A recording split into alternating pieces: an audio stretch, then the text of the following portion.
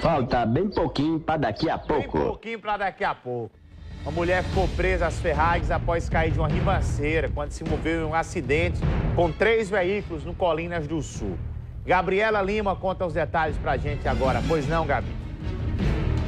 Um acidente foi registrado na noite do sábado, aqui nessa ladeira que liga os bairros Colinas do Sul e João Paulo II. É bem próximo aqui do acesso à perimetral. A gente vai caminhar aqui para mostrar para vocês bem o local onde aconteceu esse acidente. Dois veículos, eles vinham aqui no mesmo sentido aqui da ladeira quando colidiram um com o outro e um dos veículos, esse Ford Fiesta cor prata que você vê aí nas imagens, ele capotou e acabou caindo nessa ribanceira. Vocês observam aí a, a, a situação, a posição que o veículo ficou caído aqui. É, teve bastante bastante, bastante danos o veículo, mas o mais grave foi a condutora, que ficou dentro do veículo, ela ficou presa nas ferragens.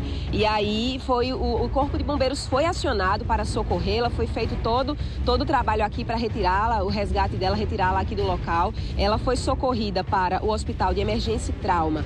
É, Andréa Vitor da Silva, de 43 anos, que é a vítima, né? Aqui estava presa nas ferragens. Ela foi socorrida por volta das 10h40 da noite, foi levada até o Hospital de Emergência e Trauma, passou por todos os procedimentos, por todos os exames, porque ela apresentava fortes dores nas costas quando saiu daqui do local do acidente e ela foi conduzida, passou a noite no hospital em observação. Na manhã deste domingo, ela recebeu alta por volta das 6h20 da manhã. Felizmente, ela já se recupera, ela já voltou para casa dela, apresentava apenas essas dores nas costas e essas escoriações. Então, é, é foi uma, é, uma felicidade para ela realmente estar tá bem, não ter tido nada mais grave. E a gente é alerta os motoristas que passam aqui por essa ladeira, que de fato é um local perigoso é um local que, se você observar bem essa ladeira, é, é um local que às vezes as pessoas elas aceleram muito por aqui, então é propício de fato a acidentes. A gente está bem no local aqui onde apresenta essa curva e de fato é um local onde os motociclistas, motoristas, todos que trafegam aqui por esse local realmente precisam ter mais atenção, mais cuidados, porque em, em trechos como esse, de fato, a probabilidade de acontecer acidentes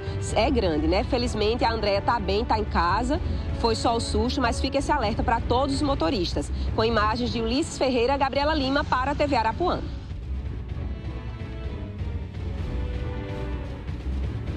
Mais um acidente envolvendo ribanceira, né? Mulher ficou presa às ferragens. É o cuidado que nós devemos ter, principalmente quando estamos em rodovias. Tem muita rodovia acidentada no interior do estado. As rodovias que cortam o nosso estado com muitas curvas. Você vai na BR daqui para Campina, tem muita curva com muita ribanceira. Você saiu da pista, qualquer cuidado, é, qualquer deslize, na verdade, você vai parar lá embaixo na ribanceira. E aí, quando você cai na ribanceira, é, um, há um perigo muito grande, porque tem um, tem um buraco muitas vezes. Inclusive, nesse mesmo local, aconteceu um acidente, tem um esgoto que está causando muito transtorno para os moradores que passam pela via. Acompanhe os detalhes. Nós estamos